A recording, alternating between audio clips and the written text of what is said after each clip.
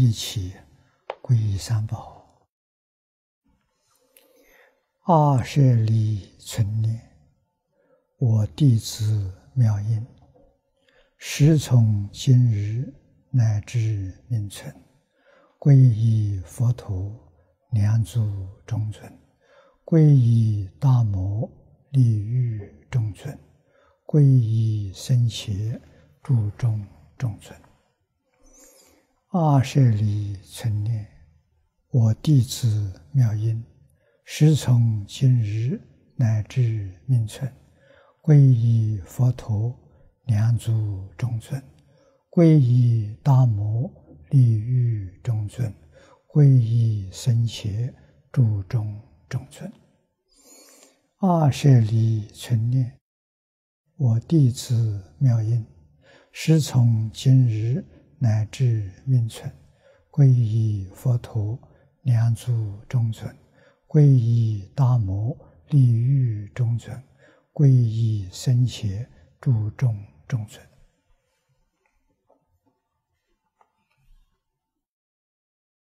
请看《大经课注》第三百一十七页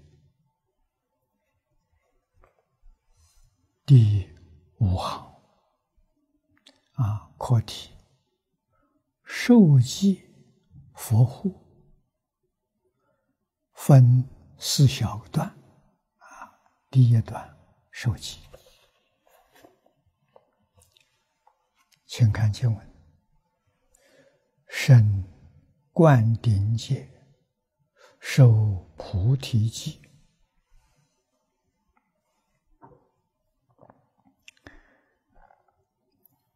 这是修学达到最高的阶层，在佛陀教育里面，可以拿到最高的学位。就是成佛啊！我们看念老的注解：圣观定界见唐译五种原译本里面，唐译的大宝积经无量寿会。啊，这两句经文出自于唐译本，接者位也，啊，就是地位、阶位。灌顶者呢，印度古代国王即位时，取四海水灌于王顶。啊，这是古印度一种习俗。啊，用海水灌顶国王即位。那么密宗密教同志有灌顶法。啊，密宗里头有这些法，意思跟。古印度帝王登基即位的意思相同，啊，太子受冠顶礼就接国王位了。那么在佛门里面，等觉菩萨、不处菩萨，啊，再向上升啊，就是佛陀了。啊，佛的地位了，这最高的学位啊，也行观顶的典礼。灌顶呢有多种啊，先给我们介绍，简言之，啊，简单的说，这有两种。第一种结缘观点，这是最普通的。密宗的戒缘观点，跟我们显宗的受三归差不多。啊，受受三归呀，绝大多数是结缘三归，啊，不是真的。啊，跟佛结个缘，啊，行个三皈依的礼。啊，三皈依其实也没讲清楚，也没讲明白。啊，我皈依三宝了，我是佛教徒。啊，其实这是有名无实。啊，真正明了三皈的义理，真正发现。一生遵守，而不舍舍舍离，啊，这才是真正三归，指导我们人生成佛大道。啊，皈依佛是觉而不迷，皈依法是正而不邪。皈依僧是静而不染。啊，我们开讲的时候先念三皈依。啊，皈依佛、皈依法、皈依僧，叫三宝。佛是觉悟的意思，法是正知正见。啊，不是邪见，不是偏见。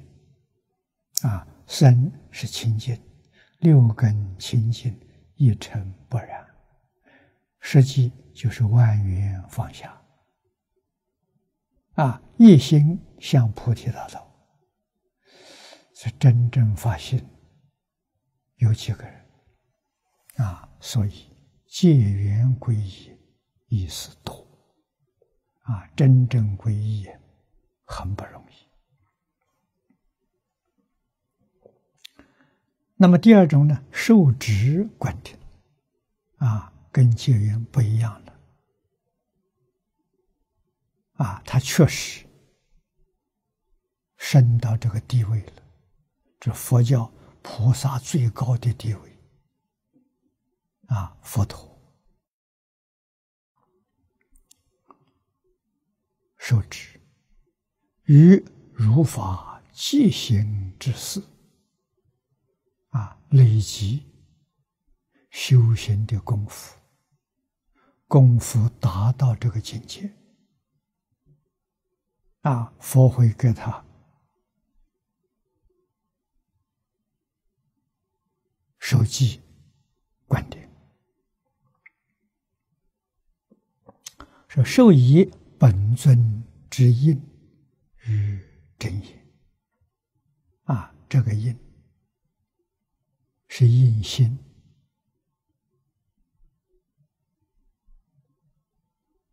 啊，禅宗有，密宗有，一心印心啊，确实达到同样的境界啊。慧能大师在五祖方丈时。啊，那是半夜，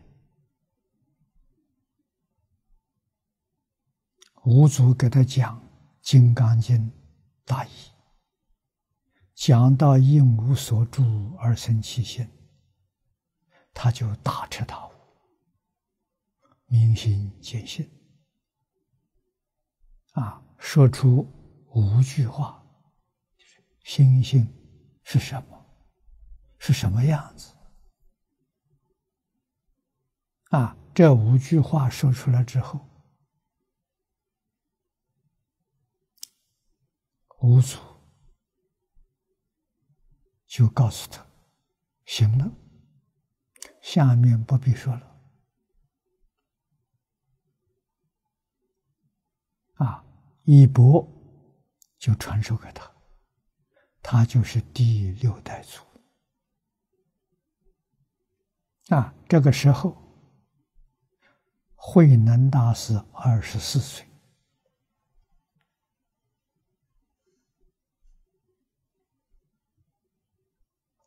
接受衣钵，啊，用衣钵做代表啊，就是受菩提记。六祖慧能生灌顶劫。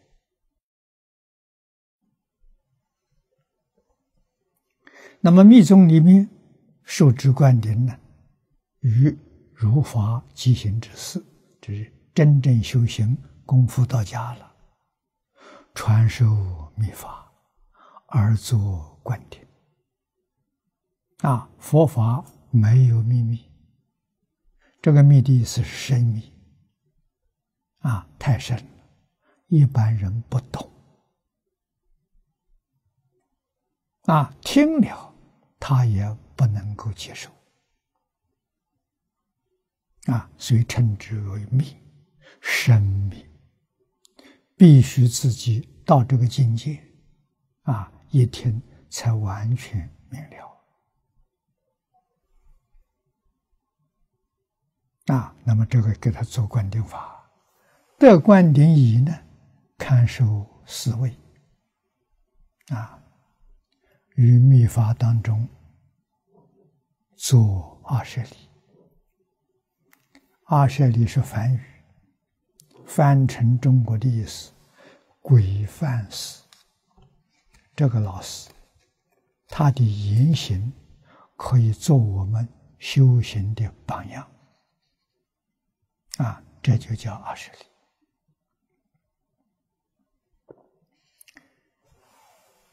那么，在中国大乘法里头，像禅宗的明心见性，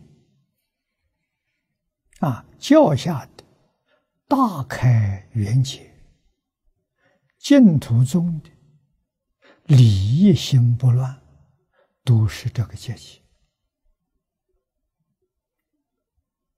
啊，所以法门平等。无有高下，无论修哪一个法门，都可以证得。啊，证得的条件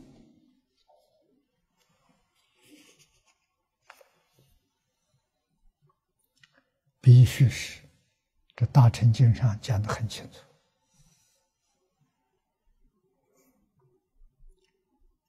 起心动念。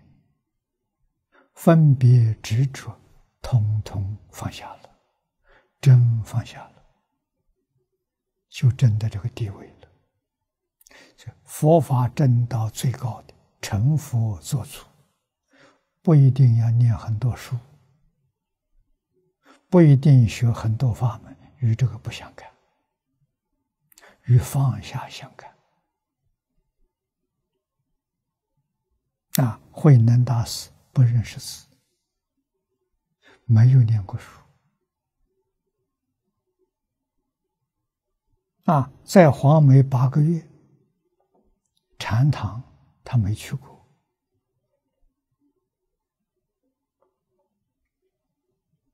讲堂也没去过，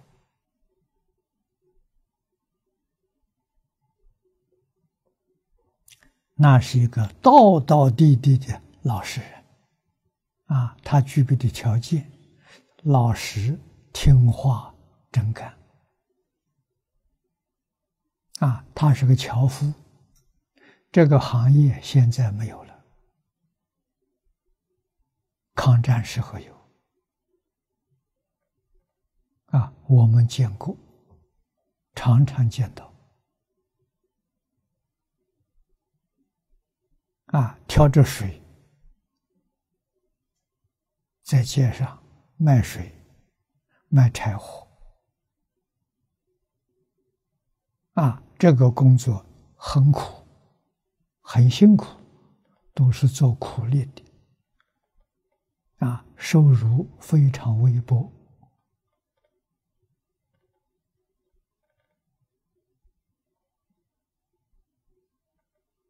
早晨清晨上山砍柴，挑到城里面来卖。卖了之后，拿着这个钱买点米，买点菜，回家一天过日子。啊，天天都要干，哪一天不干，那一天就没饭吃了。啊，过去这样，农村里头过这种生活的人很多。啊，慧能大师是卖菜的，他在黄梅八个月。啊，无足就叫他去对房里面舂米破柴，换一句话说，干他的本行。他开悟了。我们想想，来佛寺海贤老和尚，他一生。从事于耕作、种田，他不认识字，没念过书。啊，耕作是他的本行，从小就在农田里面跟着大人学种田。他对于种植粮食非常内行。嗯，经验很丰富啊！出家了一生依旧干这桩事情啊，一生没改变。师傅传给他就一句阿弥陀佛，叫他一直念下去。他念了九十二年啊，他一百一十二岁往生。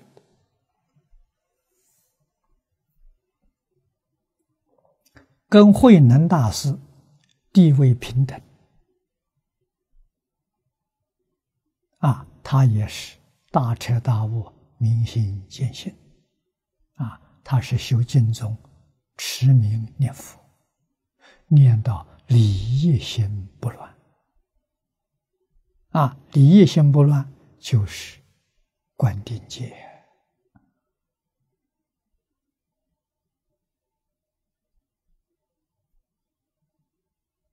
啊！但是他是生在这个时代，我们肯定他是近代晋宗的一位大德。啊，没有能跟他相比。细细看这个碟片，啊，看这本小册子，你去体会。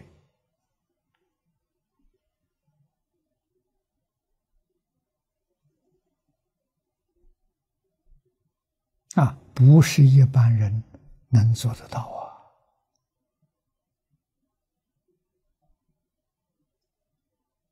啊，修持一句佛号，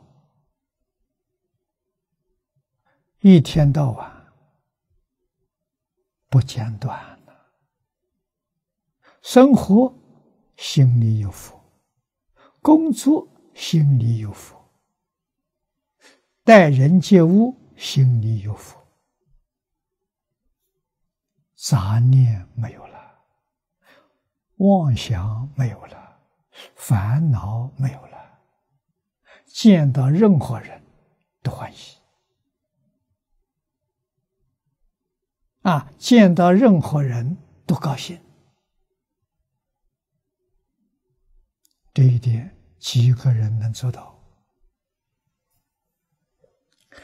他所得的法喜充满，长生欢喜心啊！这佛上说的，经上讲的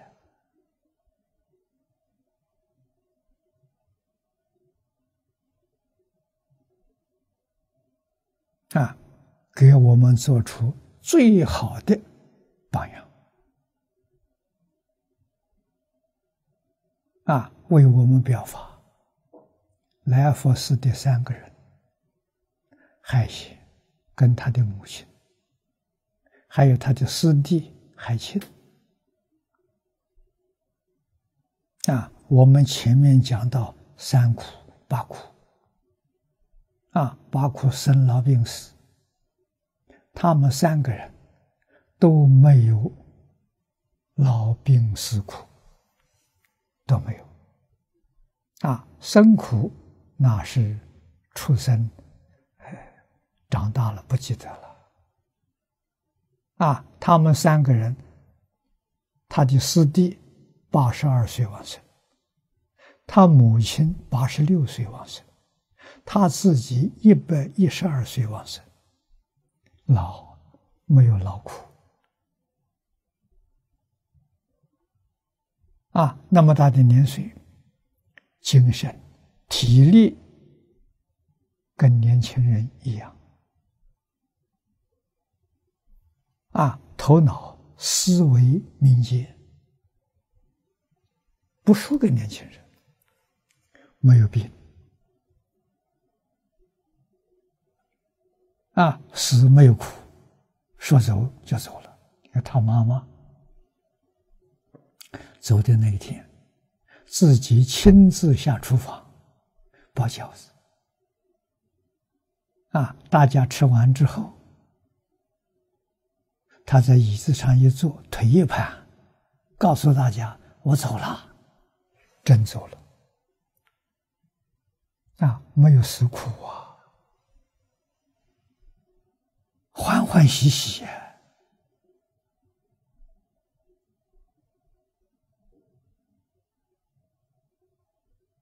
啊！所以我称他们来佛三生的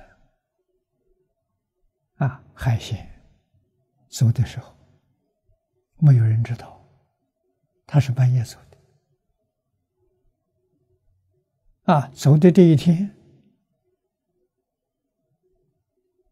工作了一天，从早到晚，在大菜园里面浇水、拔草、整地，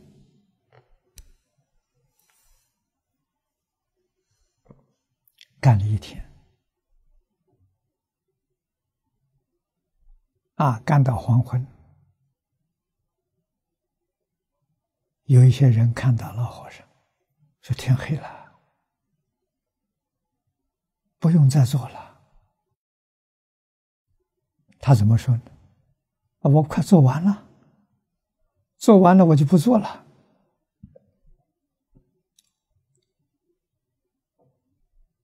没想到，这个话是一语双关。啊，当事人没觉体觉察到啊，他晚上就走了。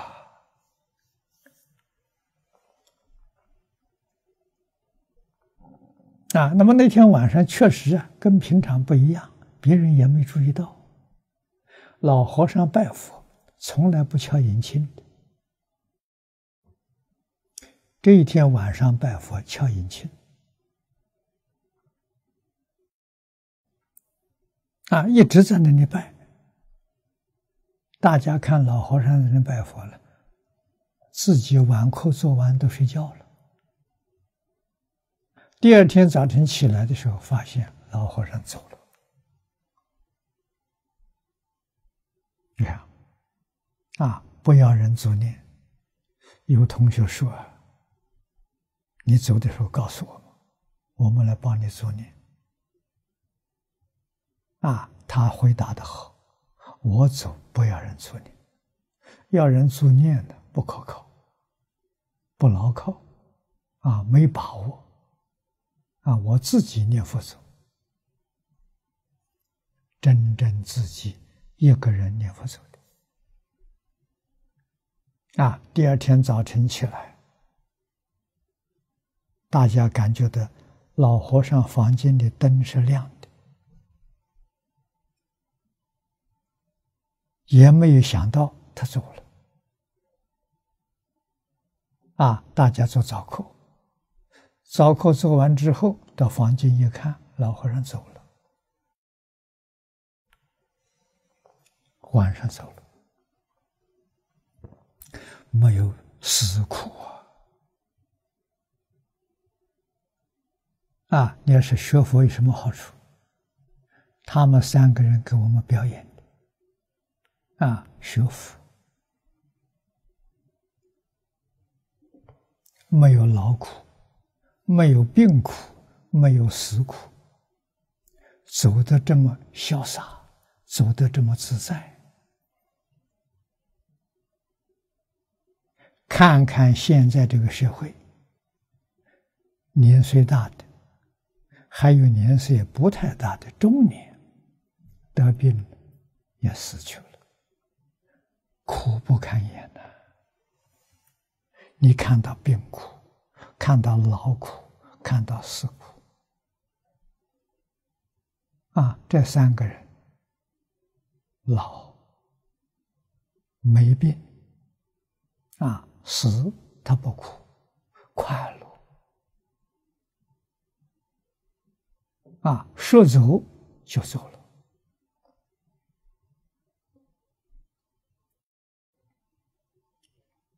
海清留了肉身。啊，海贤的妈妈身体没有了，不见了。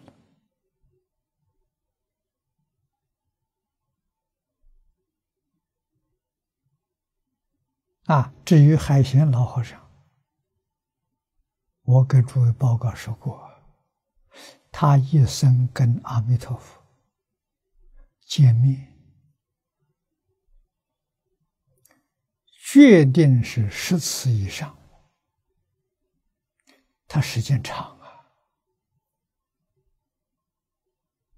啊，二十岁念阿弥陀佛，一百一十二岁往生，九十二年了，这么长时间里头，见佛不止一次，他自己透了信息给我们，他说我好几次啊。要求阿弥陀佛带我到极乐世界去。这老佛爷没带我去，说我修的不错，要让我住在这个世界，表法给大家看。啊，换句话说，他这么长的寿命，阿弥陀佛加持。啊，目的呢是叫他表法。最后的表法就是看到这本书，这个地方这张照片是他往生前三天照的。啊，有人送这本书给他，若要佛法兴，唯有生战胜。啊，应该是阿弥陀佛告诉他，如果有人送这本书给你。佛就来接引他往生了，啊！所以他一听到这个书的名字，欢喜的不得了，如获至宝，啊！穿袍大衣，啊！拿着这本书，要求大家，你们给我照一张照片，最后的表法。啊，认同佛法要兴旺，出家人要互相赞叹，不能毁谤。啊，批评毁谤，佛法就衰了，不会兴旺。啊，兴旺决定是互相赞叹。这个道理，中国古人所说的“家和”。万事兴啊！互相赞叹是和睦啊，互相批评是不和，不和家就衰了。互相赞叹，决定兴旺啊！所以用在家庭，用在公司很好，用在团体，全管用。啊，社会国家也如是。啊，今天社会动乱，就是不和我，彼此互相竞争，互相批评，啊，自赞毁他，造成社会的乱象，造成地球的灾变。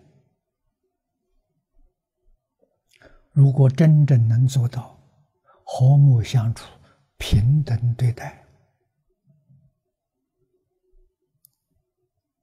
地球上居民真正过到幸福的生活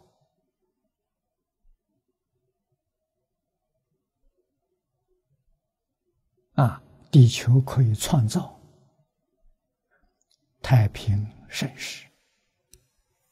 中国历史上有不少次太平盛世啊，这是中国传统文化所创造的。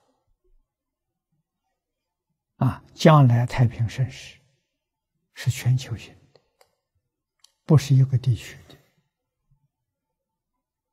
啊，英国历史哲学家汤恩比博士，晚年的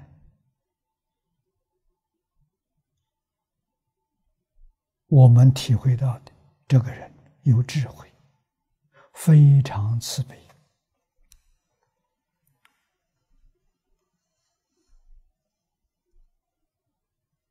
啊！原子弹造成之后，他天天提心吊胆。这种武器的出现，人类有能力毁灭地球上的生物，能够毁灭地球上的文明，那就是人类在地球上的绝灭。这什么？核武战争。核武战争没有胜负，同归于尽，就是人类集体自杀，啊，非常悲惨的事情，啊，所以他呼吁如何避免，啊，他应该是看到中国。春秋战国啊，到汉朝啊这一段的历史啊，春秋战国是周朝末年，诸侯国不服从周天子了啊，各自为政，互相征伐。啊，是一个动乱不安、人民非常痛苦的一个时代。这个时代五百年，时间相当长。啊，到最后秦始皇统一。啊，统一之后，在中国政治上真正统一了。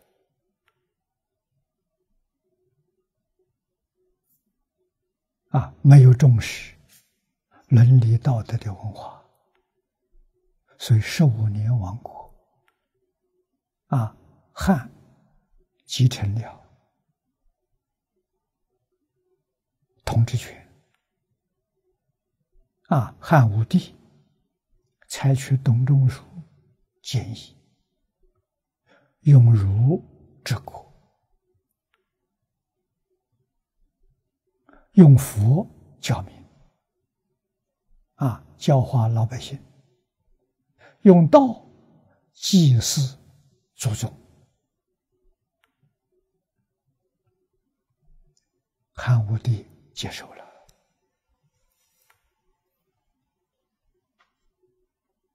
啊，汉出现了盛世，前汉文经之治。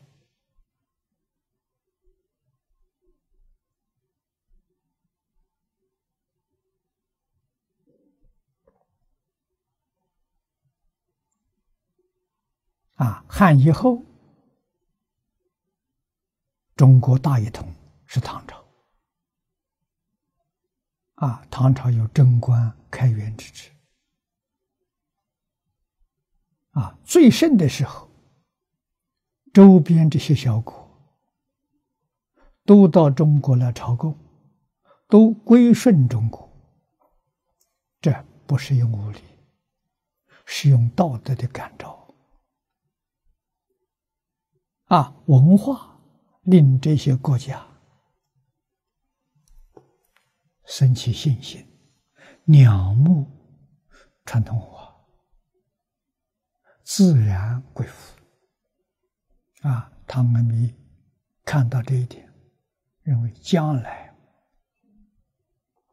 这个世界要想永远避免核武战争，啊，世界要统一成一个国家。世界政府、世界国家。啊，晚年他常常谈这些东西。啊，在他的著作里头。啊，杂志里面、报纸上刊登的。啊，有两个日本人把它收集起来啊，这些言论。他特别重视中国传统文化啊，将来统合全世界是什么文化呢？中国传统文化。对于中国传统文化寄予深切的期望。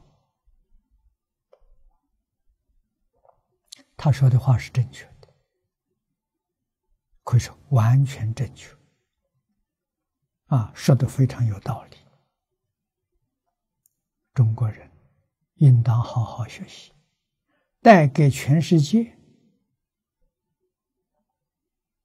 安定和平，啊，让这个世界国家与国家、政党与政党、族群与族群、宗教与宗教。都能够平等对待、和睦相处，啊，造成地球上千年盛世。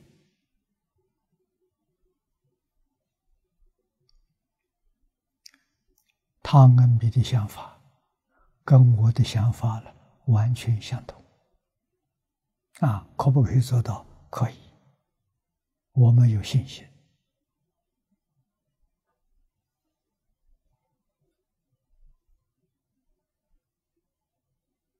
啊，信心从哪里来？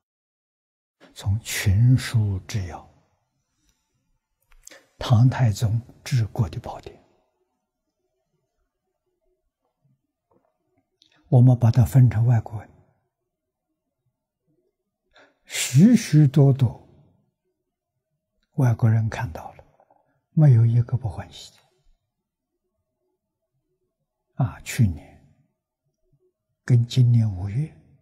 两次，我们在巴黎联合国教科文组织分发给各国大使。啊，这个组织里头一共有一百五十个，啊，一百九十五个国家地区代表。啊，我们统统送给他们了。无量的欢喜，都能接受啊，没有一个反对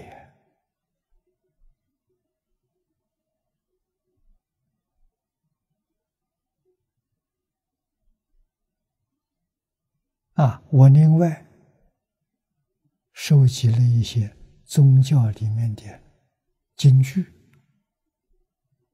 啊，编一个小册子。世界宗教是一家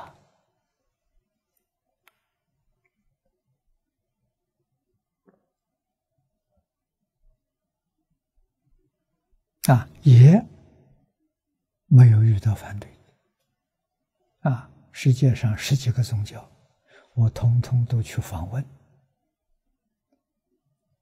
啊，把这个小册子送给他们，请他们批评指教。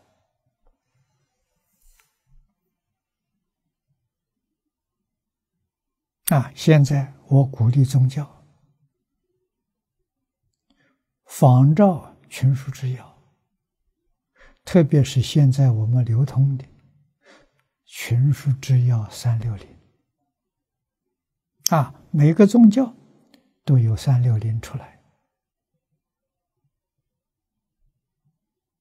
让我们以最短的时间认识这个宗教，了解这个宗教，学习这个宗教，好啊！啊，经典太多了，没有时间去读。啊，啊我们要精华，摘录其精华，编成一个小册子。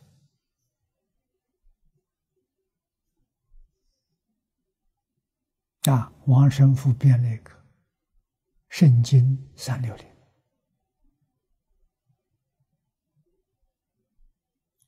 新加坡伊斯兰教一位长老，他在编。《古兰经》三六零，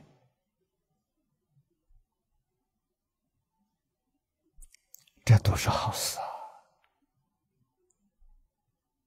我们听到了，看到了，非常欢喜。啊，今天应当认真努力，为全世界安定和谐。啊，中国人所说的。齐家治国平天下，平天下的意思就是天下诸国所有的国家平等对待，和睦相处，是这个意思。天下是一家了，要宣扬这个概念，向这个方向努力。宗教可以做到，文化可以做到。啊，首先团结宗教，普及全世界的文化，让全世界的文化都能够发扬光大。啊，互相学习，融通，成为一体。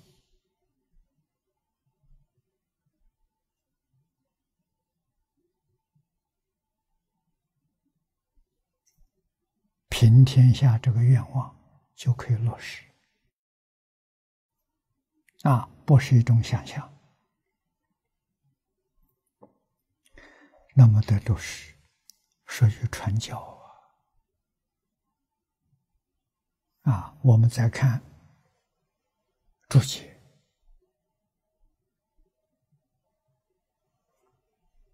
啊，幕后第二行看起。得灌顶矣，看守思维，啊，接受灌顶之后，他就是老师，啊，像释迦牟尼佛一样，我们称释迦为本师。于密法中啊，做二十里，二十里是梵语。翻成中国叫规范式啊，规是规矩，范是模范啊。这个老师，无论是思想、言语、行为，都值得我们学习，都是我们最好的榜样。这就成为二十里。所以说，视为受职啊，这个受职就是传教的意思啊，受职观点，上面只分两类，一类是受职观点，一类是戒缘观点。啊，这是最普通的讲法。若详论之，要说的比较详细一点，则在上述二者之间，还有常行的四种观点。啊，那么这四种，第一种呢，平观的修习升起次第之自在。啊，好像我们念书，这灌顶说就是毕业典礼。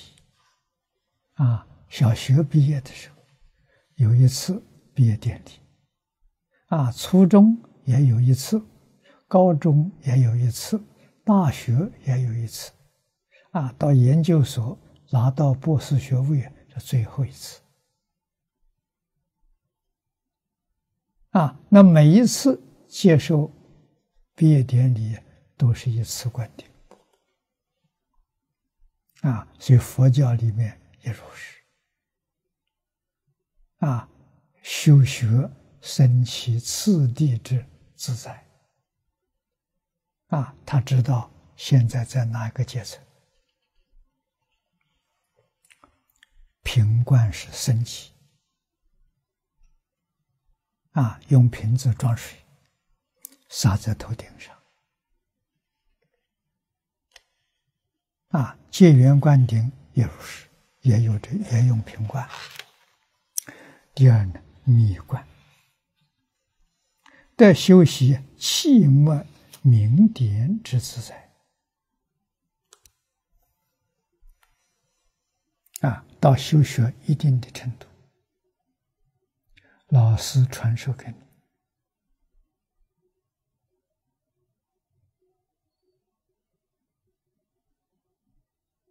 啊，这是提升了一个阶层。第三是慧观，得具菩提心觉之修持自在。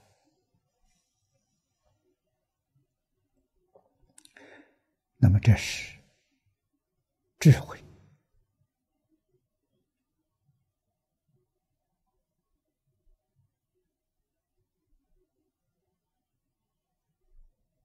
五祖传法给慧能法师，就是此地第三根第四。第四是修得大手印道之自在，这是密宗最高的阶层啊！密教中传承。未经观点，不得擅自学习；经轨亦不得善阅。啊，密宗的经典没有受过观点，不能看，不能学习。啊，所以他对传承非常重视。啊，不像贤宗。贤宗没有老师也可以学习，啊，典籍可以去读，啊，没有老师指导能不能修？能。读书千遍，其义自见。啊，这是贤教里头。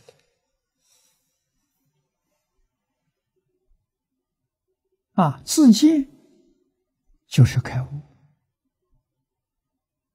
啊，怎么开悟的？清净心就开悟了。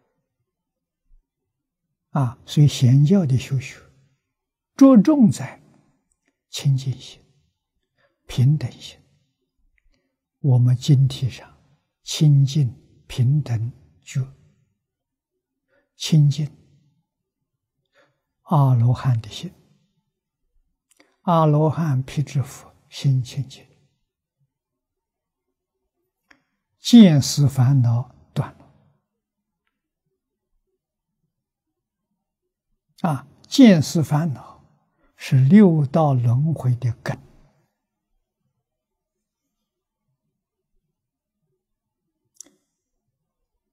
见思烦恼断了，六道轮回的根没有了。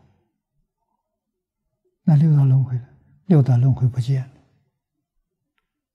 所以要晓得，六道轮回是假的，不是真的，就像做梦一样。这是梦中境界，醒过来呢，梦中的痕迹没有了。再也找不到了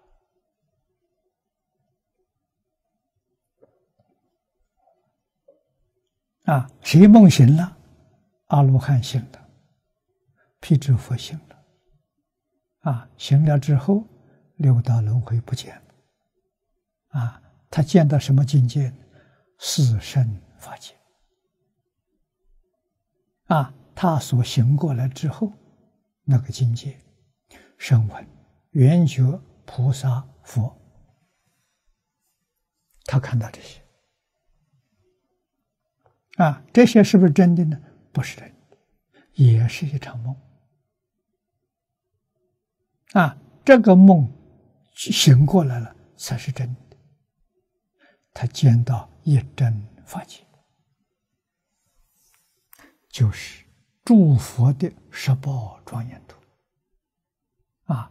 真假用什么做标准？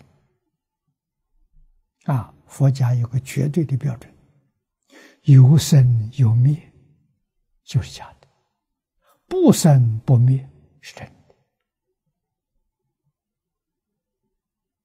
啊，那么十法界都是有生有灭，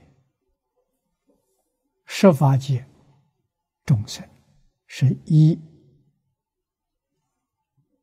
阿赖耶为心，那么阿赖耶是生灭法，所以他把一真法界变成了十法界。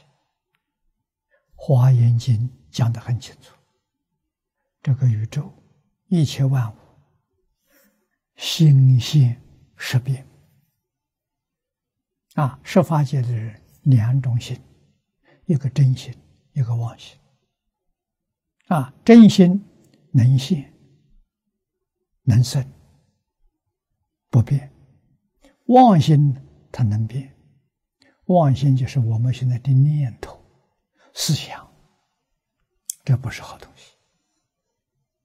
啊，这个东西啊，要把它放下。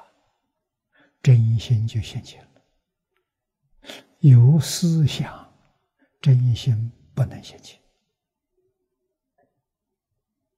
啊！所以，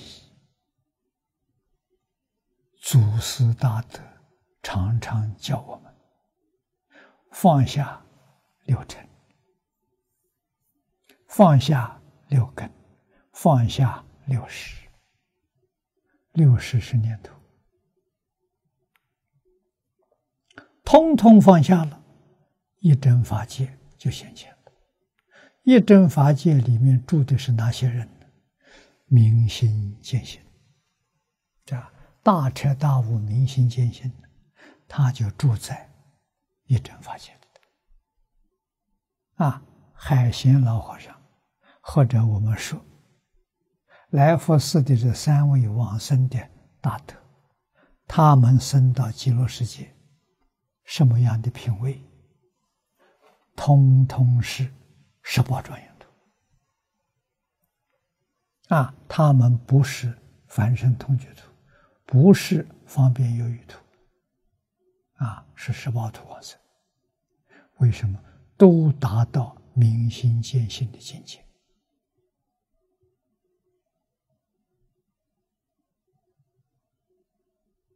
这我们要知道啊。他们一生成就啊，我们要拼命去追赶呢。啊，他能做得到，我们也能做到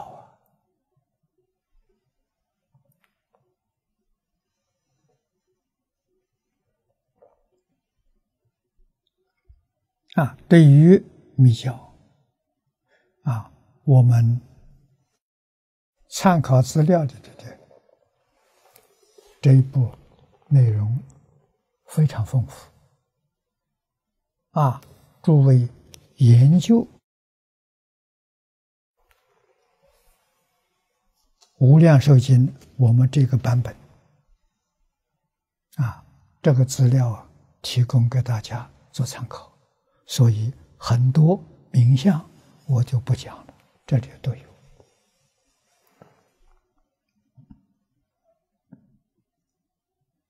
啊，我们要学习的是怎样把经经教。义理、修行的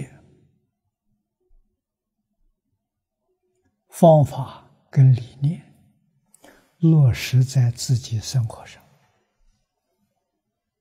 何学何用啊？我们才真正得到！这个很重要，要不然学了没用处，人家不相信的。啊，如果是学生干什么？这往生极乐世界。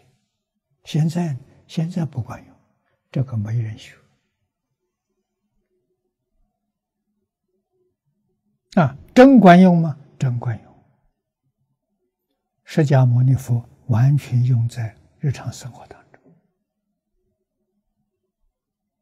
头一个带头人呐，再往后看历代祖师大德。哪一个不如是？近代，我们看印光大师，我们看海鲜老和尚，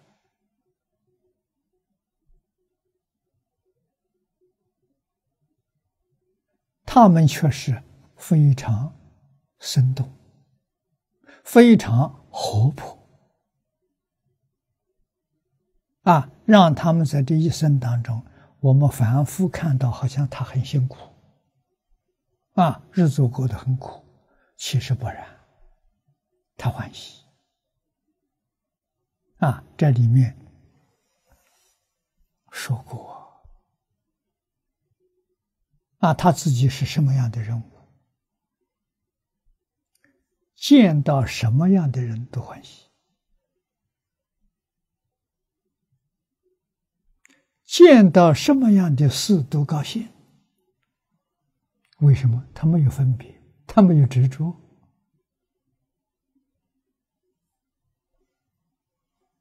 没有烦恼，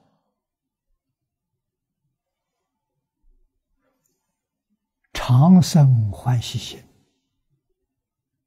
啊！一天到晚都是欢欢喜喜，这不就跟极乐世界没两样啊？我们别人看到他是吃苦，他自己在享乐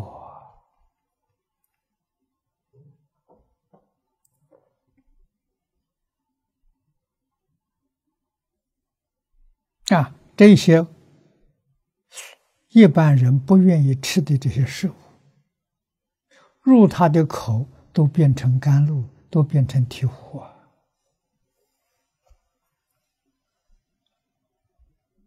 凡夫没有办法觉察啊！现在量子力学家懂得啊，什么境随心转啊，他的心正，他没有妄念的，他是真心的。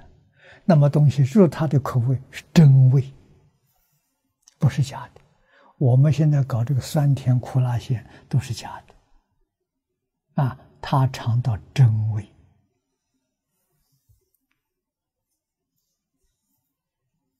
啊！他跟诸佛如来所成平常的没有两样啊！啊，那什么功夫呢？六根对六尘境界，没有起心动念，没有分别之处，得大自在啊！啊，化身般若解脱，通通证得。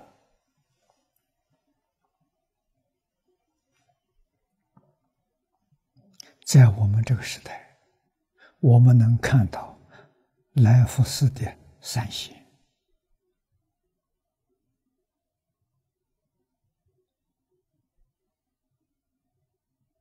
真难得，应该值得我们自己庆幸呢。我劝大家，这个帖一天看三遍，阿弥陀佛名号一天念一万声，啊，你用一年功夫根就扎稳了，一年之后，我相信。你功夫向上提升，欲罢不能。你会永远像海鲜老人一样，啊，九十二年不间断。这是经中无比的殊胜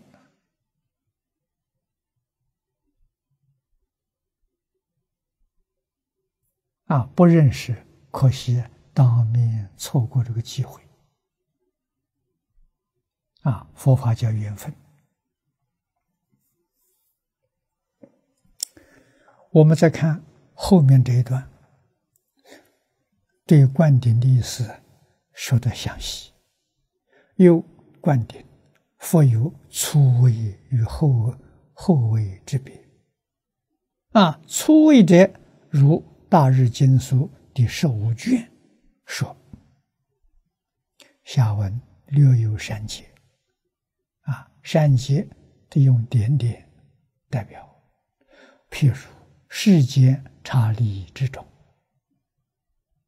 于少及其位，令王中不断故，为其弟子而作观顶，取四大海水，以四宝瓶盛之。啊，谁令啊留住太子之顶。灌此水矣，大声三唱，啊，这就是向全国人民宣告，啊，汝等当知，就大家应该知道，太子已受未尽，自今之后啊，所有教制皆当奉行，他今天接受国王的位置，啊，那么从今以后啊。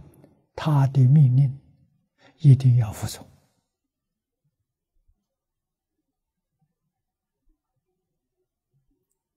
啊！那么这是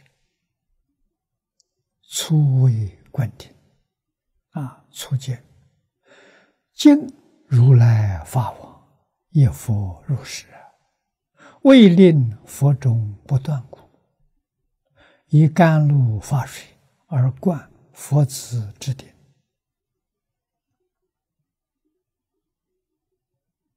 啊，佛门里面，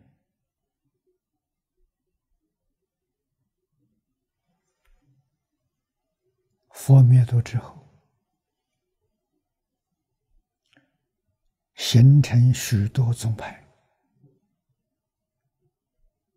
啊，宗派里面修学地位都有等差。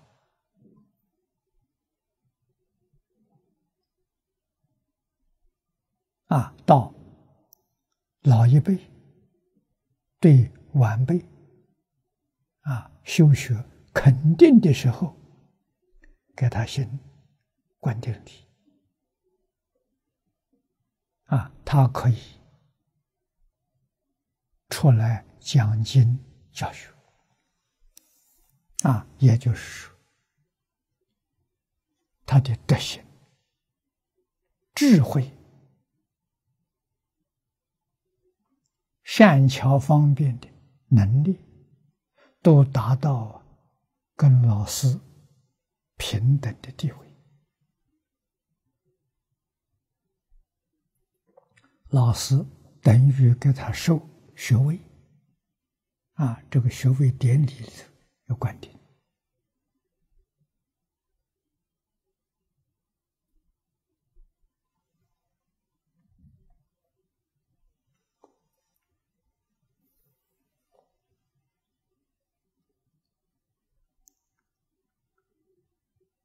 那么从此以后，一切慎重啊，贤所敬仰，一知此人毕竟不退于无上菩提，定少如来法王之位。啊，这个少就是继承的意思。以上呢，就行人粗微而事来解释。那么现在，密宗里头还有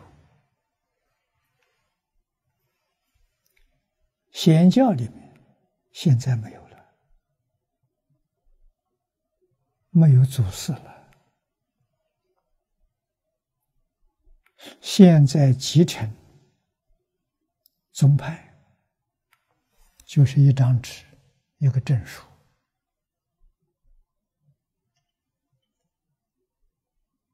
啊，你是属于天台先手第多少代的子孙？思想授受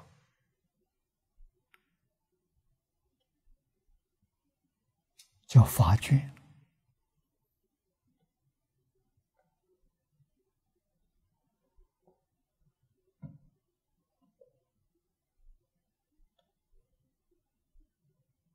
啊，师承呢？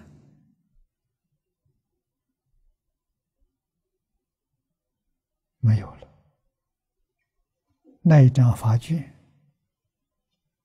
也不可靠啊。他是天台第七代的传人，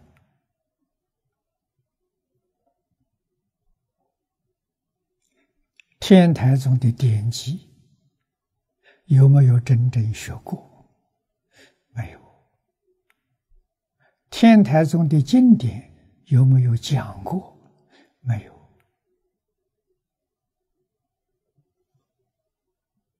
这不算的。啊，受灌顶礼之后啊，就要讲经啊，要教学。啊，人家成立法师，那师就是解惑、传道啊。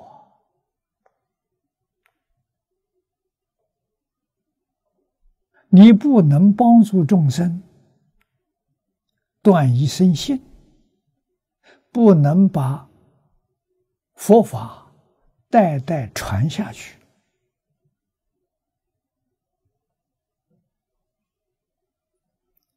这个观点是假的，不是真的。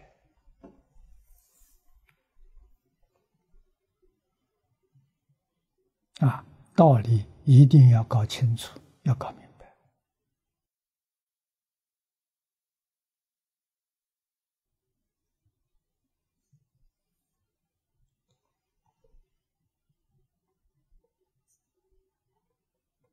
啊，我在台中求学。老师晚年。办的一个班，内点研究班，学生只有八个人，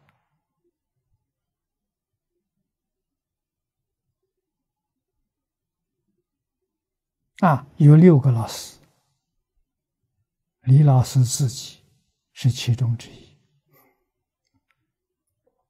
另外五个都是他的学生。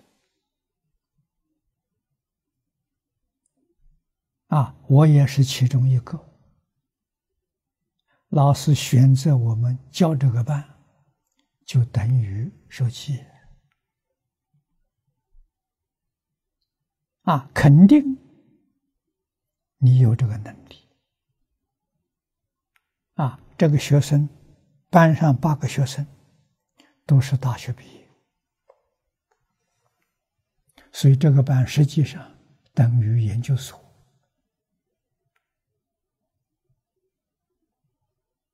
四年毕业。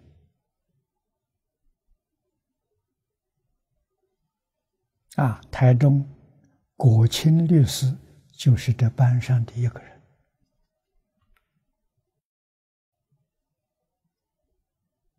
啊，老师这个班办了四年，学生当中有这一个人出来，没有白办了。啊，有一个出来就够了，有两个那就很殊胜了。啊，其他同学也都不错，都还在。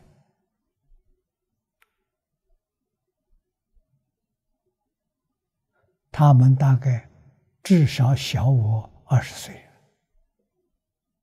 国清法师今年六十六。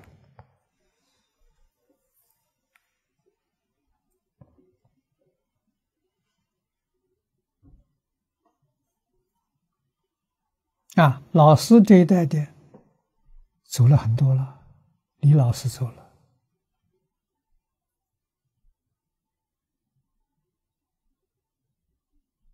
包里包括了四个走了，啊，六个只剩我跟徐显明两个在，啊，徐显明老师他还在。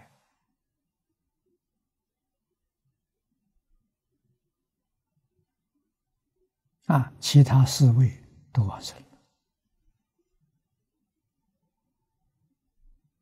我们同学有周嘉玲，周嘉玲走了。啊，另外两位老师都在家居士，老居士，跟李老师学佛。啊，一个徐老居士，还有一个刘老居士，啊，这两个人都是大学教授，啊，老师自己培养出来的，啊，我徐新明、周嘉玲，我们三个人。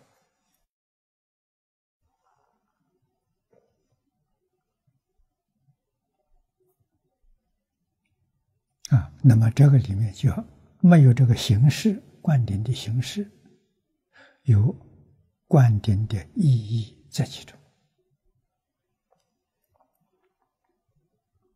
啊，将来佛法要兴旺起来，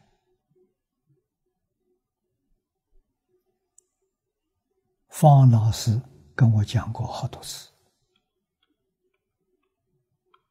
一定要恢复。丛林制度，丛林制度是唐朝马祖、百丈两位大师发起的。丛林制度是什么？就是大学啊，正式纳入大学的，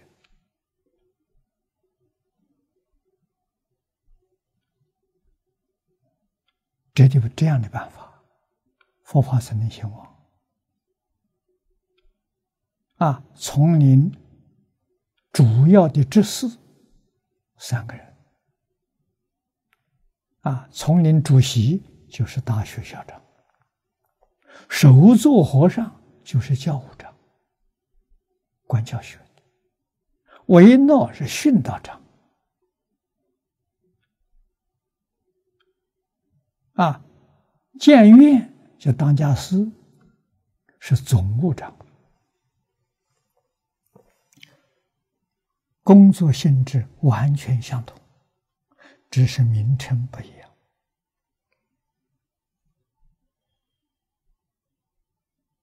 啊，所以要办佛教大学，佛教大学毕业，那就是观点。发拿到这个毕业证书，才是合法合格的教师，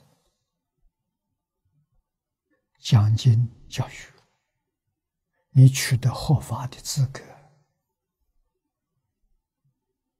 啊，这就是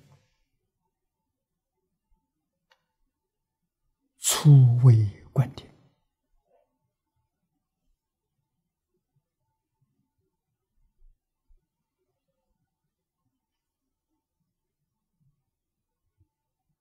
啊，那么如果再有深、更深的研究，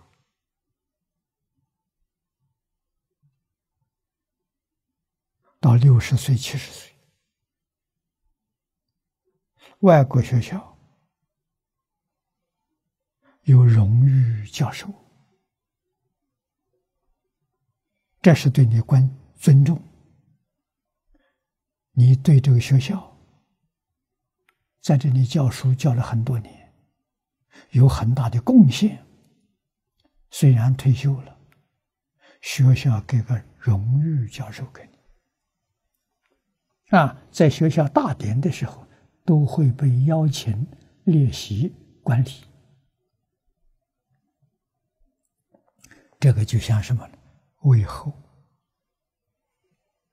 啊，观点有这个意思。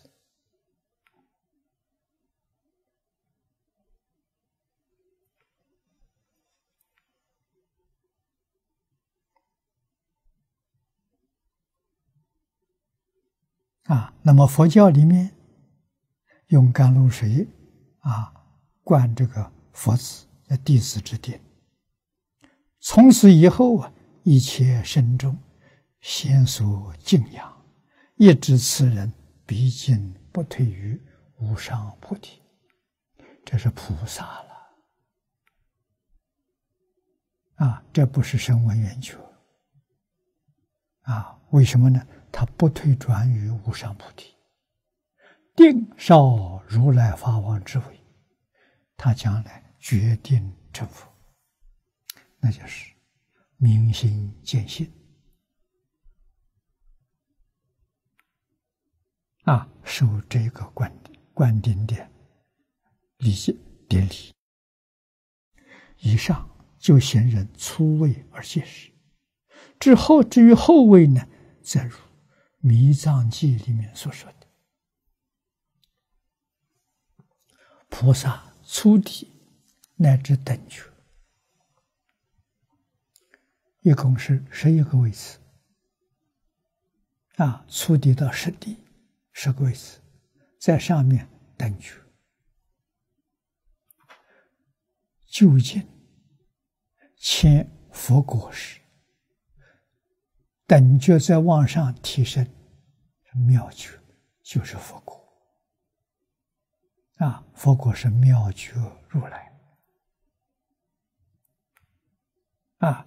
这个时候，诸佛以大悲水灌顶，即自行圆满得证佛果，这是定义，没有比这更高的了，成佛了。啊，等觉把最后一品生相无名习气断掉了。啊，断掉之后，它就是妙觉。这个时候，自自然然融入长期光。十报图呢不见了，真的是《金刚经》上所说的“凡所有相，皆是虚妄”，连十报土都没有了。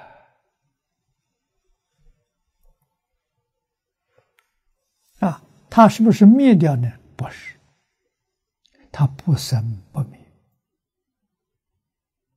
啊，但是。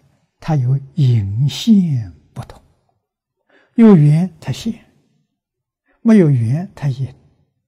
隐的时候什么都没有，就是长久光。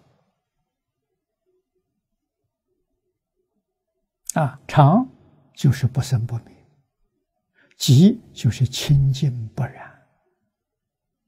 啊，它没有丝毫染污。啊，光，光明遍照，啊，它不是物质，它也不是精神，啊，它没有思维，没有想象，啊，所以它不是心法，它也不是自然，这三种现象都没有。啊，长极光，长极光在哪里？无处不在，无时不在。啊，我们先前都在长极光中，离开长极光，没有东西能现前，就好像电视的屏幕，啊，所有频道按下去，它能够现出来。我们把屏幕比喻作长激光。它能现一切法，啊，它也能引。我们把频道关掉，这个色相就没有了。啊，关的关掉之后没有，不能说它无。为什么我再按它又现起？隐现自在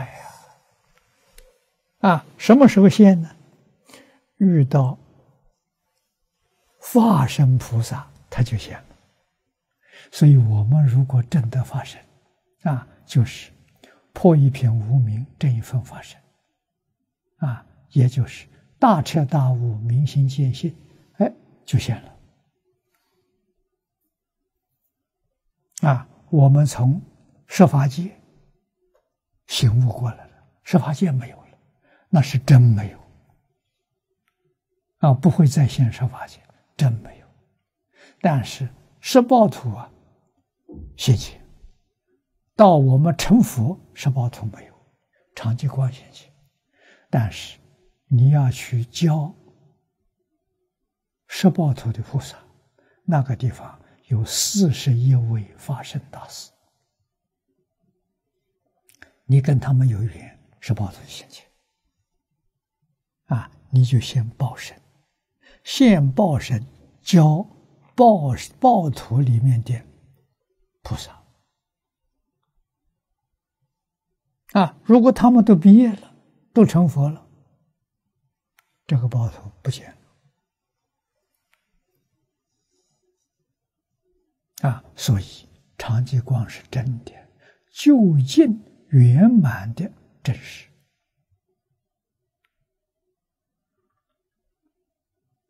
这个称为法身。般若、解脱，解脱就是得大自在啊！这个是佛法修学最高的目标啊！得大自在啊！啊，得大自在，能与变法界、虚空界一切众生感应。我们在此地念阿弥陀佛，求阿弥陀佛现前。阿弥陀佛真来了，他是不是真的从极乐世界来呢？不是的，因为阿弥陀佛是长吉光啊。长久光就在我们面前，没离开我。所以楞严会上说真话，佛菩萨现身叫当处现身，随处灭尽。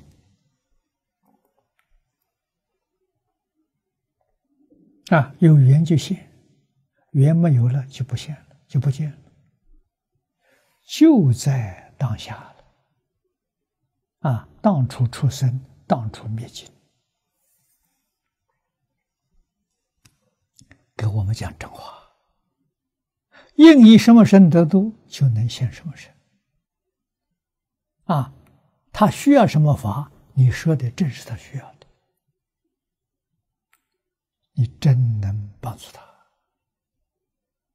那我们今天求念佛，为什么没有感应？不是没有感应，有障碍。障碍常寂光的化身菩萨不能现身，这个障碍就是妄想分别执着三种障碍。如果能够一念心把这个障碍扶住，只要佛一秒钟，佛就会现一秒钟；能扶住一分钟，它就存在一分钟。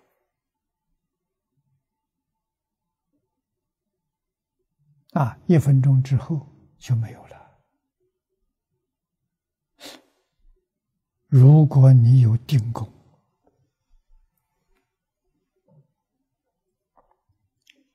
心地清净，没有妄念，没有分别之处，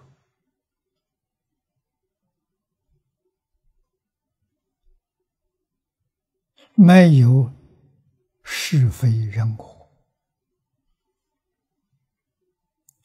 像。虚云老和尚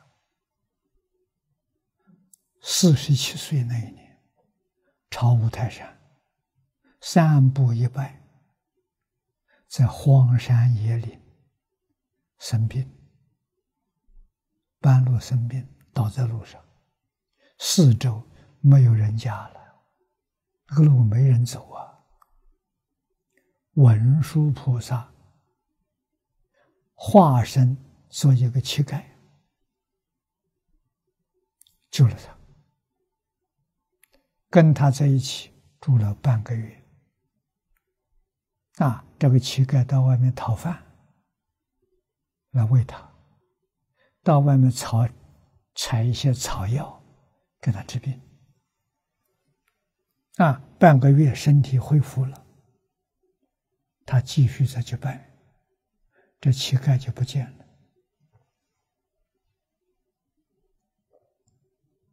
啊，过了一个多月，又得了一场病。对，前面并没有完全好，就勉强走了。啊，所以一个多月又得一场病，又遇到这个乞丐，哎，他非常感激啊。啊，没有这个乞丐救他了，他命没有了。啊，所以问乞丐的名字，家住在哪里？啊！乞丐告诉他：“我叫文吉，文章的文，他姓文，吉祥的吉。这我就住在五台山，你到五台山去问我，他们都知道。啊，他就记住了。到五台山去打听，没有人认识。啊，到寺庙里头拜文殊菩萨，拜完之后。”把这个事情告诉大众，大家跟他讲，那是文殊菩萨的化身，他在恍然大悟。啊，这就是说明化身菩萨的德用不可思议。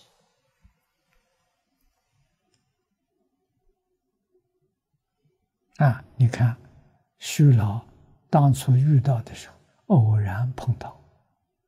啊，碰到一个乞丐，一点分别执着心没有，也没有怀疑。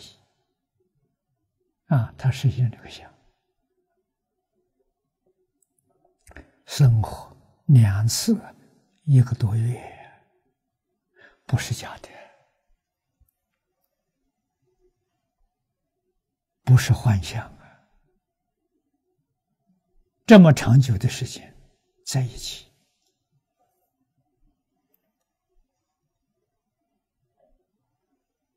啊，完全不知道他真的把他当做一个乞丐，这乞丐很善良，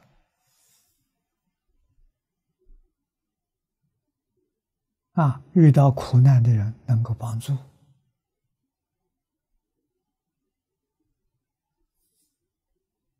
啊，这个例子绝对不是假的，虚云老和尚不会编一个故事来骗人。记载在他脸谱上。老和尚活了一百二十岁，啊，在我们这个时代当中，住世最长的一个人，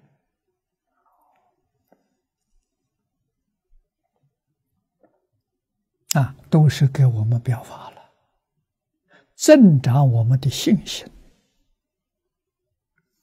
愿心。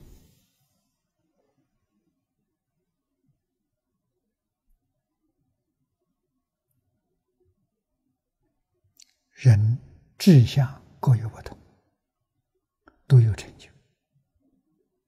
啊，虚老和尚一生向往弥勒菩萨，求生弥勒净土，他真的往生，在斗率内院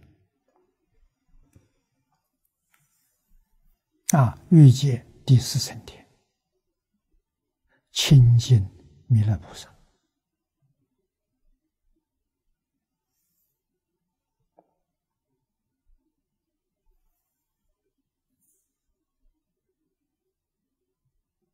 啊，要生多少年？要有相当的定功，没有得禅定，到不了。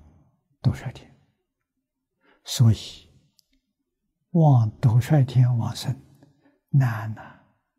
西方极乐世界容易。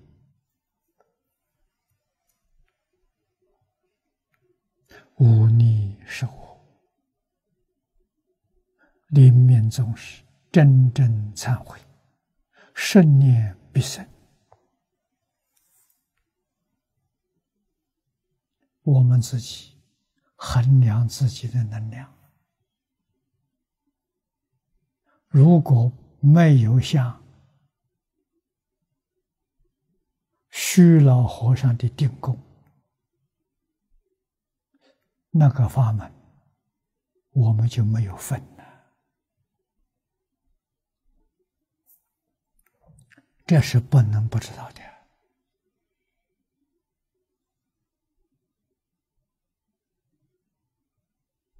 净宗的法门殊胜，就是伏烦恼，不是断烦恼。断烦恼真难啊！伏烦恼容易太多了啊！但是还是要在平日日常生活当中锻炼，往生才有把握啊！首先。要修忍辱波罗蜜，什么都要能忍啊！要修放下啊！特别是见思烦恼啊，见思烦恼制造轮回，我们希望超越轮回，越淡薄越好。啊，完全放下，那就证阿罗汉果。啊，那往生极乐世界不是同居土，决定是方便有余土，品位高啊！我们没有那个定功，就要学海贤老和尚。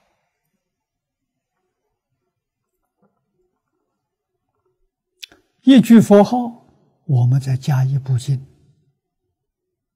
就是《无量寿经》会集本，一部注解，黄念祖老居士的记住就够了。其他的真的，一切放下，啊，一心一意。一生不改变，我们将来往生才真有把握。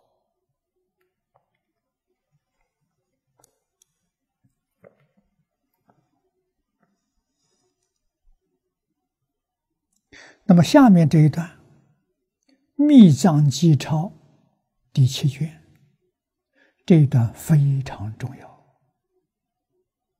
这是给我们说出真正观点的意思。观者是大悲护念意也，顶者是佛国最顶意也。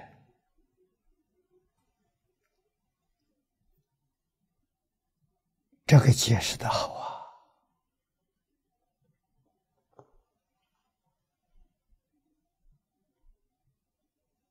那么，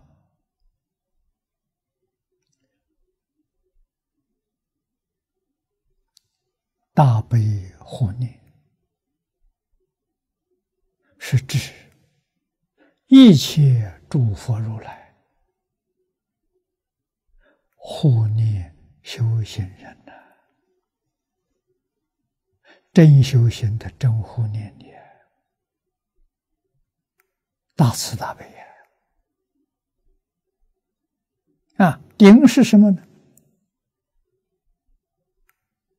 顶是佛国最顶，也就是无上法门，确确实实能帮助你一生成佛。这是最顶的，那这个意思不就很明白了吗？发心念佛往生，到极乐世界，这就是佛国最顶。到了极乐世界，决定一生证得究竟圆满佛果。阿弥陀佛为我们做保证呢，把这个法门传给我们，就是大悲护念。我们这一生当中遇到这部经，遇到这个法门，就是弥陀如来大悲护念，将这个一生成佛的顶法啊。一切法门顶尖，没有比这更上的了。传给我们，这叫真正观点啊！啊，你们如果愿意接受观点，这部经从头到尾念一遍，就是弥陀世尊给你观点。这经太长了，能不能短一点？行。佛说《阿弥陀经》不长，你把这个《阿弥陀经》从头到尾念一遍，也是大悲观听，跟念这部经的效果完全相同。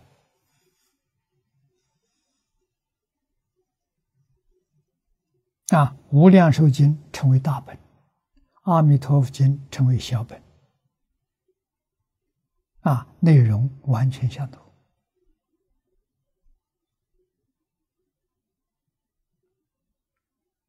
这么个意思。啊，我再告诉你，还有更简单的。海贤老和尚为我们表法所表的是什么？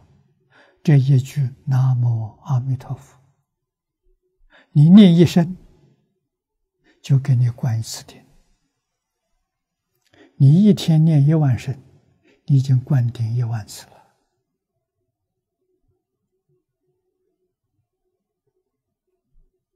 这是真的，不是假的。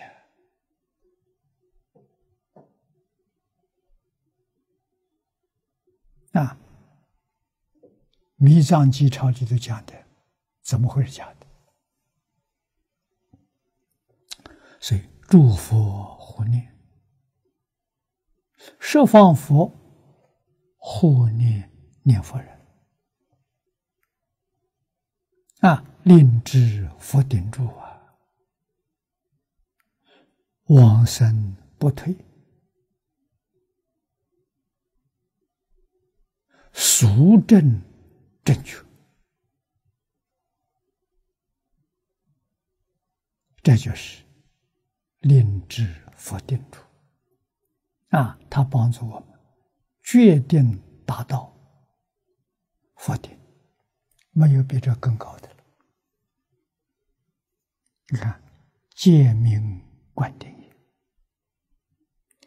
精进现在这部经说的生观定界，对于会大师而言，与会人。现场，我们在电视机面前的同学，在网络面前的同学，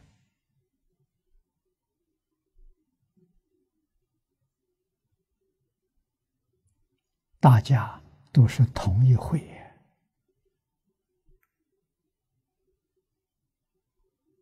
啊！对那些菩萨。极乐世界的菩萨来说，这是后后位。那要是指教导众生，我们这些人，这是受观者是初位，初位就是后位啊。问题是，你有没有？真正信心啊，相信真有极乐世界，真有阿弥陀佛，一丝毫怀疑都没有。要有这样的心啊，那你就是经上所说的初位观点。你到了西方极乐世界，阿弥陀佛见了面了，那你就是接受。为后的观点，为什么？你本来是佛，《华严经》上说的，一切众生本来是佛了。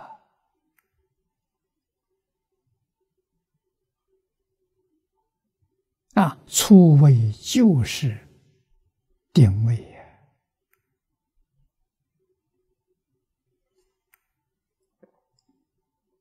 啊。观点的大意，我们就学到此地啊！千万要记住啊！真正的观点是传授大法啊！谁叠在头上的几点，那是形式表法的啊！佛法重实质，不重形式。这是早年呢。张家大师告诉我的：“啊，实质，我们将这部经送人，这就是观点。他能依照这个经修行，决定往生，决定成佛。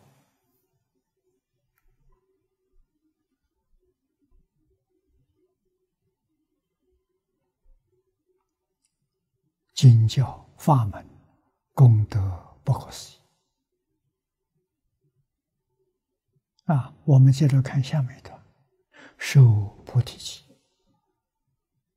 啊，这是唐译的。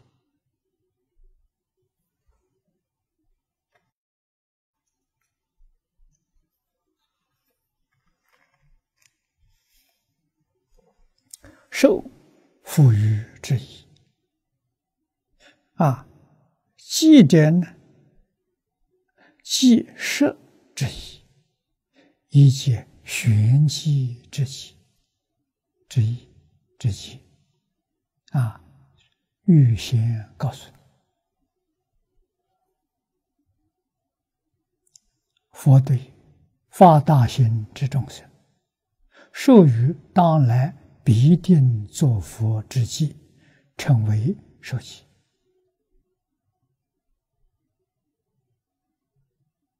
啊，真正发大心，学佛，为什么？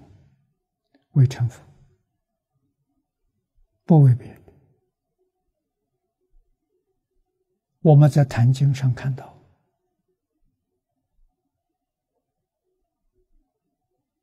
慧能大师去拜访五祖，啊，到黄梅。初见面的时候，五祖就问他：“你来到我这里，想做什么？”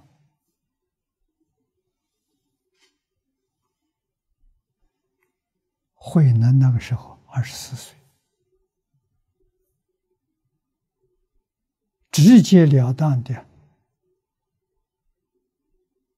向五祖要求：“我来做佛。”大概五祖在一生当中也没有遇到过这么一个人，他来做佛的啊！一般人是升官发财。这个他很多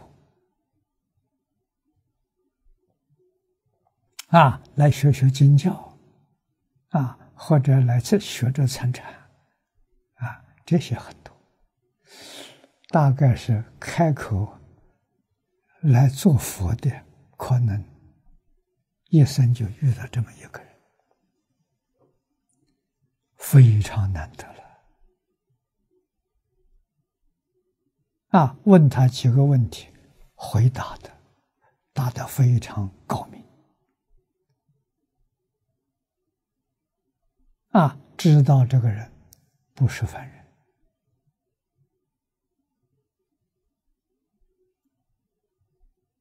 啊，说完之后，吩咐他到对方去做义工。啊，住在对方，舂米破柴，每天干这个。啊，干这个什么修复？实际呢，是在修定。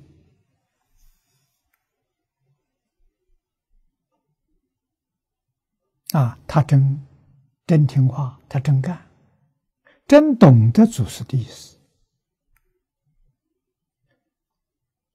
我们在《坛经》上看到，他在那住了八个月，只知道对方他工作的地方，除这个地方之外，道场里面他都没有去走走过一次。这个人家老实人。叫一就是一，叫二就是二。所以神秀大师做了个记子，贴在那个地方，他不知道，说明什么呢？说明老师啊，这是他成就的因素。为什么会有那么大的成就？啊，他心是定。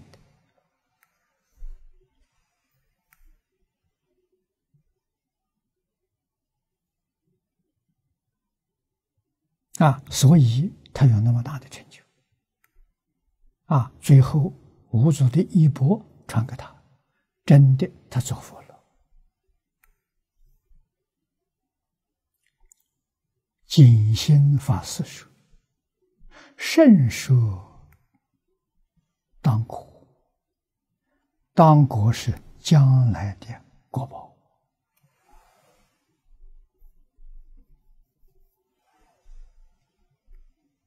另设因力，当然果报现在你还没得到啊！啊，但是给你说出来，让你心底踏实，你修行会更用功、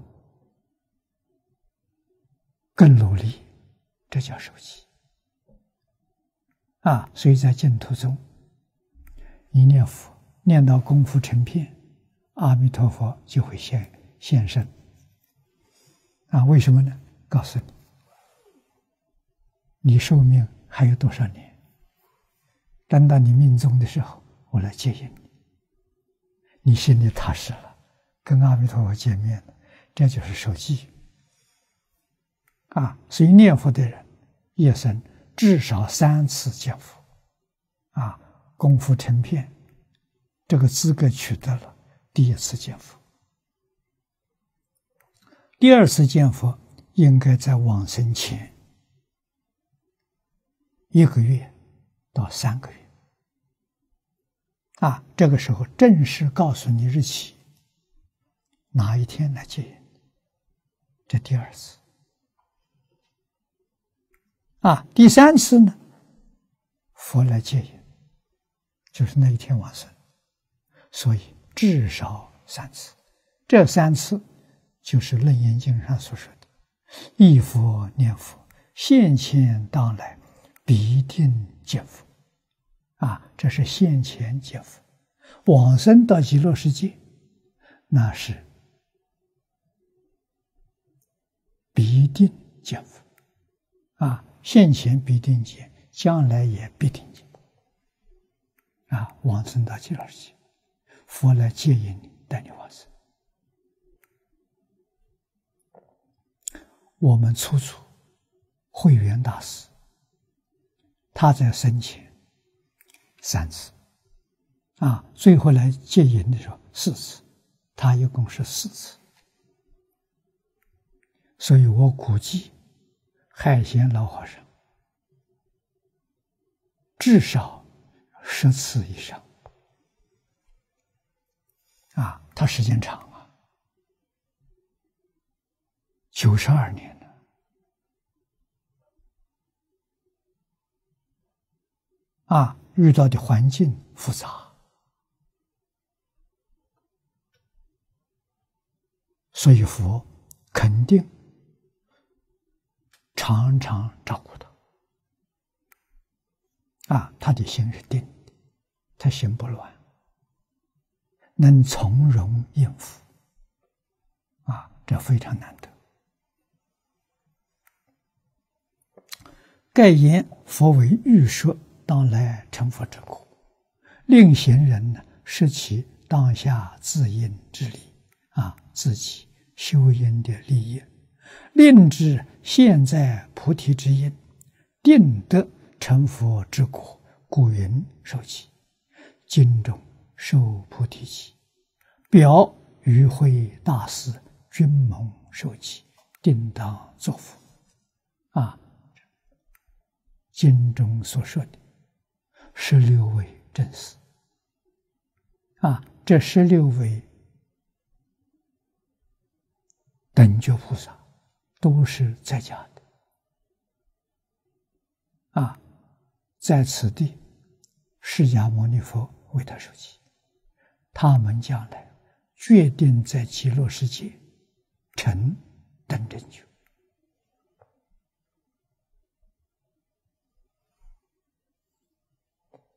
啊，等正觉就是作福。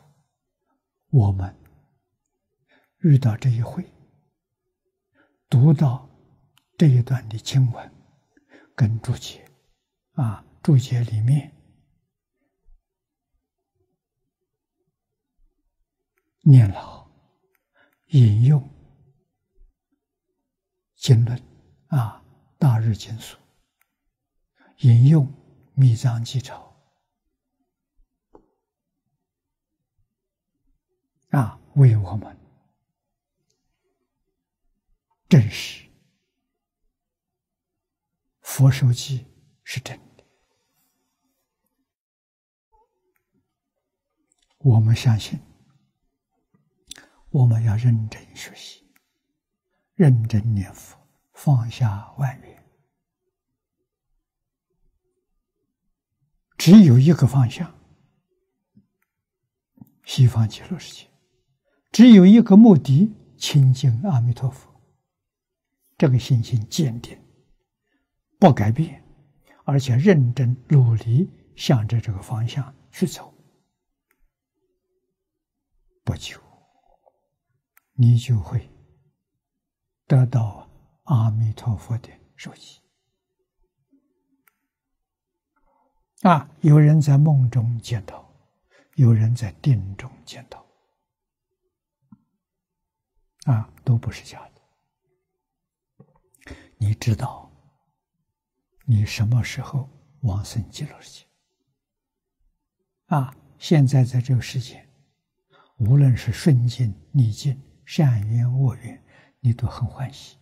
为什么呢？我知道什么时候我到极乐世界去了，欢喜啊！啊，真的法喜充满了。今天时间到了，我们就学习到此地。